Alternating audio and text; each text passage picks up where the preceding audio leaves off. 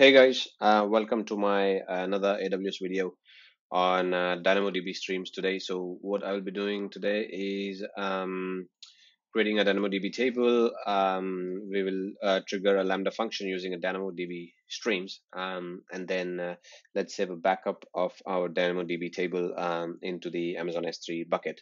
So for this, um, today um, uh, so what is DynamoDB streams? Uh, so basically, DynamoDB stream is nothing but uh, a feature that emit events when um, there is some record modifications. For example, if you insert, delete, or update anything in your DynamoDB table, so that will emit an event, and that event will trigger your Lambda function and then store your backup log or um, uh, anything related to DynamoDB table into your um, S3 bucket okay um, so this is just keeping a logs of what's changed or what has been inserted. You you know you can have uh, this sort of um, uh, data that is stored in your S3 bucket. Um, um, so each event uh, which carries the contents of, of rows um, that are being modified okay? So uh, it, it records all the modifications through encrypted logs and, and stores them for about 24 hours okay? Um, so I think um, this is enough of uh, this um, the introduction for this DynamoDB streams. Uh, I think what you, what we can do from here is we'll go and take a look at this diagram. Uh, what we're going to do today. Um, so is DynamoDB table. You create your tables here, and you create a stream that will trigger the Lambda function, and then uh, you store uh, the data in the Amazon S3 bucket. Okay. Um, and meantime, you can also see your uh, CloudWatch metrics inside um, your, your CloudWatch okay so uh, i will give uh, you guys this link um, from draw.io uh, which is uh, which can explain you what's going on here. Uh, this is my uh, github account okay? So you can come here and copy the snippets that i have um, for you guys for this demo um, and uh, you, you, might need these uh, scripts um, for this demo okay? Um, go back to my console. Um, so here uh, I've already logged into my console and I've already opened uh, my uh, scripts that I need for this demo. Um, okay um, today uh, okay let's go to let's begin with creating a lambda function okay? So I will be using these services you can see here DynamoDB S3 lambda IAM and CloudWatch so uh, to begin with, let's click on Lambda. We'll create a Lambda first, okay? Um, because that's where I would like to start things. Um, I'm going to say that uh, my DynamoDB streams function. Uh, you can name it whatever you want. Uh, so in my case, I just named it uh, something uh, which makes sense to me. Uh, Python 3.8. Click on use existing role. Okay, so I haven't created any role over here. So what I'm going to do, uh, I'm going to go to my IAM role, right click, open link in a new tab. So you can see um, I'm in my IAM, IAM dashboard. Go to roles, uh, create a role which is which uses the Lambda. Uh, make sure you select AWS service. Click on next, and then uh, obviously we're going to create a policy. Um, so create a policy which will open up in a new window all right um, so i think uh, i i uh, pretty much use json because this is pretty straightforward for me to create um, any uh, apply any policies to my role. So what i'm going to do i've already have a json um, created okay? Um, we would need uh, these permissions okay? Uh, we would need these permissions in our policy go back to the policy and paste it okay? So what we will be doing here is basically we are giving permissions um, from uh, for lambda uh, to you know uh, to get um, uh, for dynamodb get list batch and logs for cloudwatch and then and then dynamodb put item cloudwatch and s3 um, um, so we will apply these permissions uh, to my role so that you know uh, my DynamoDB will be able to trigger and uh, my Lambda function will be able to store uh, anything on the S3 bucket um, and uh, collect some CloudWatch metrics. All right. Um, so click on next tabs. Uh, next review my Lambda DynamoDB role. Okay. Um, and you can see all these services. Um, click on create policy. So you should be able to create the policy. Um, all right so this is uh, this is you're inside the policy. So go back to uh, you can close this window for now. You can go back to the rules wherever you have um, created. You don't see your policy here. Just click refresh. Um, you should be able to see your policy right at the top. Click uh, select the policy that you wanted. Click on next um, and give it a role name my lambda um, DynamoDB role um, sorry, uh, click on create role. You should be able to create a role. What happened? Yeah. Okay, so you are you have successfully created a role. Okay, so we will be using this role in in our Lambda function in a previous tab where we have stopped. Um, so we, I'm going to close this uh, tab just for the sake of um, just for the sake of clarity. And I'm just going to close this tab. Uh, go back to my Lambda function where I'm creating so I still don't see my role here just click click the refresh button and select the role that you want all right um, create a function um, okay so code change your code has been updated while you're making changes okay that's fine um, so what I'm gonna do as soon as I see this just uh, select all and remove it um, go back to the uh, core snippets that I was saying uh, previously. Uh, go back to the DynamoDB streams uh, file. Uh, this is a Python script. So simply copy paste uh, for now. I'm going to explain it what I'm going to do here. Okay. Um, so in my Lambda function, this is my DynamoDB DB table. So I'm going to create a table in a moment. Um, and then create a, um, so in your EU West 2 region, this is my region. So I'm going to create a bucket uh, with a name called my S3 bucket uh, one, two, three, or something like that. So I'm going to create a bucket with this name, okay, to store uh, the DynamoDB tables in in the form of JSON file uh, with a name called data, or maybe you can see my DynamoDB table backup. Okay, this makes more sense. And then um, um, basically what what we are doing here is uh, create uh, so uh, the table name uh, we get the table name and then um, store or backup uh, our DynamoDB table into my DynamoDB table backup.json file in our S3 bucket. So we just uh, we are going to just log the bucket um, into our S3 bucket. Okay. Um, all right. So uh, let's go ahead and create this table in DynamoDB table um, go to click on DynamoDB table, DynamoDB, and create a table. Okay, um, this is my table name, my DynamoDB table, and give it a partition key or something like ID, and then leave these defaults. Create a table. It is creating. It takes a minute.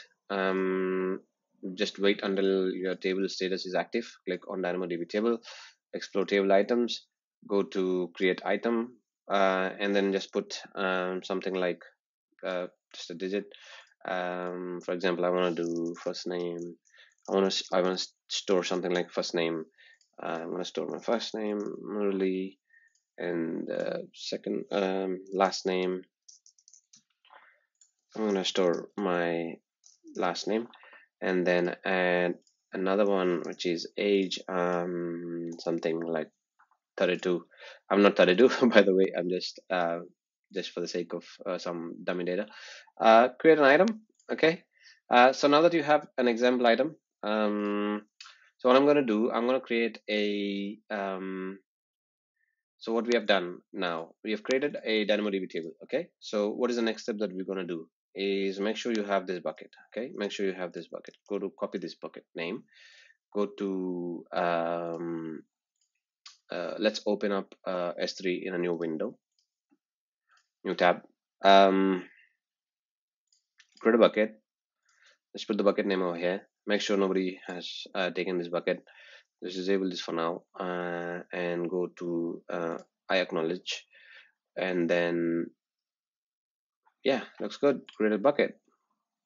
There you go. You have successfully created a bucket which is good. Uh, the first thing that you do is you have to give the permissions um, for your S3 bucket. Click on S3 bucket, go to permissions, edit the bucket policy, uh, go to my snippets that I have given you, uh, go to S3 bucket policy, copy the bucket policy, uh, put it inside your um, S3 bucket, just save the S3 bucket uh, copy the ARN just above this um, in your bucket policy. You can see the ARN here. So you can simply copy and just paste instead of this just uh, uh, you need to replace with your ARN in in my case this is my ARN so you'll have to probably replace your ARN uh, remove this thing uh, and then also remove this ARN here. Okay um, so basically I'm giving uh, permission uh, to get object put object and delete um, uh, bucket permissions and click on save changes there you go um, now that you have created your bucket go back to your DynamoDB Lambda function make sure uh, you have created your bucket you have created your table name and then S3 bucket in EU West 2 region. Make sure your bucket is from EU West 2 region. Go to the buckets and make sure it is EU West 2, which is correct. And then might have no table and yeah everything looks good. So you understand this right? So basically our lambda function is um, getting a copy of the dynamodb table and storing it uh, in the name of my dynamodb table backup inside my s3 bucket okay? Um, i hope this this makes sense. I click on deploy and to deploy this lambda okay? Uh, so now that you're good and then go to the the dynamodb table um, so now let's enable the streams okay? Um, go back to the tables. Um, click on my dynamodb table and click on exports and streams. Go all the way to the bottom uh, dynamodb stream details. Click it is it is disabled by default. Click enable. Leave these options leave this default and click enable stream. So you you have now enabled the dynamodb stream okay? So what i'm going to do is um, if there is a update on insert uh, update or delete then i'm going to trigger the lambda function. So i'm going to click on uh, a trigger uh, here. Okay create a trigger.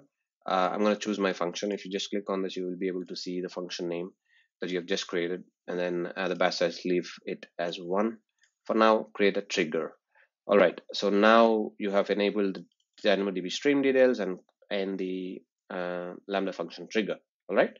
Um, so now that you have uh, set up this uh, table nice and clean, um, so what we're gonna do is gonna explore table items. Um, click on create item. So before this, uh, what I'm gonna do is go back to your lambda function. Make sure you have minimize this window. Go to configuration and put the timeout something like one minute um, just put one minute and um, yeah that's fine click on save make sure you have enough timeout uh, for this uh, lambda function to run. And then um, and then go to your DynamoDB. Um, we have clicked on explore table items before. Click on create item so let's now go ahead and create another item. Um, so click stream. Uh, obviously we need another one another one. Okay so now this is going to be first name okay um it's to be something like tom um last name. Um tom williams. Age must be 45 something like that. Uh it's up to you. It's always fun to give this kind of example data um, create item um, so now that you have created your item so by the time you have created an item because you have inserted a new item so what um, should have been done is go to your lambda function uh, the lambda function should be triggered and your lambda function should uh, take a backup of your data and put it inside your S3 bucket. So let's see if that uh, works.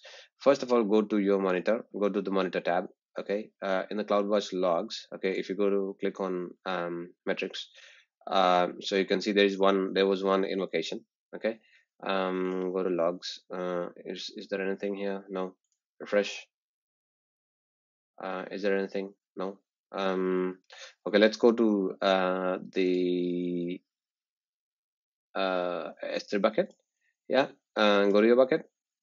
Is there anything over here? Yeah there you go. Uh, you can see your um, dynamodb table backup uh, json uh, obviously our lambda has uh, stored this um, json file click on download uh, and open it. Um, okay so i think i need to open it here. Um, yeah so there you go tom williams um, Murali and you can see uh, the data which is being uh, stored as a backup in our s3 bucket. Okay um, so likewise i'm to go and create another item just for the sake of um, just for the sake of demo purpose and let me put a tree here string. I'm going to give a first name next i'm going to be last name and then last name oops last name uh, age first name is going to be Harry Harry um, it's always fun to give a last name um, ABC I don't know and he's 76 create create an item this is another item I've stored. Um, so if you go back to the Lambda, is there anything? Has has there been anything? Logs. Um, is there anything here? No. Uh, just one hour. Is there anything? No. I don't see why. Okay, that's fine. Um, go to okay. So you have now inserted uh, to uh, insert another um, person. Okay. Uh, go to the S3 bucket. Uh, click on the bucket refresh you should now be able to down copy the URL s3 copy the s3 URI open it in a new window just paste this and open up ah oops um okay I didn't expect that okay copy this URL this is my object URL open it uh, okay so I think it has downloaded the file open it okay that open in my another window okay there you go um so you can see uh, the data you can see the data that is being stored in my S3 bucket. All right. Um, yeah. So I think that's it, guys. Um, so I think um, so. Basically, what we have done here is uh, we have created a DynamoDB table. We have uh, inserted uh, insert um, uh, inserted some data into my DynamoDB table. We have enabled the streams and we have created a trigger to the uh, Lambda function. And that Lambda function internally saved that data backup into my S3 bucket. Um, let me now go to the um, CloudWatch. Okay, open this in a new window. Always open up a new window because you don't want to um, miss this view. Uh, go to log groups. Did you see anything? yeah there you go. This is my lambda stream my dynamodb streams function. Uh, this is the lambda that we have created if you remember. Uh, click on it. Uh, this is the logs. Um, this is the log stream. You can see uh, all the log stream in in the CloudWatch um, so lambda run completed completed upload. Um, and you can see all these wonderful logs uh, over here uh, in the CloudWatch so uh, this completes our exercise. Uh, i hope you guys uh, like this video. Uh, if you like this video please uh, give it a like uh, share this subscribe to my to my channel. I'll, I'm, I'm i will be making more and more videos going forward and give you a real-time scenarios as much as possible. And um, please follow my github um, aws snippets and you can fork my repository. You can you can see the scripts um, and uh, thank you very much for watching my video and I will see you guys in the next video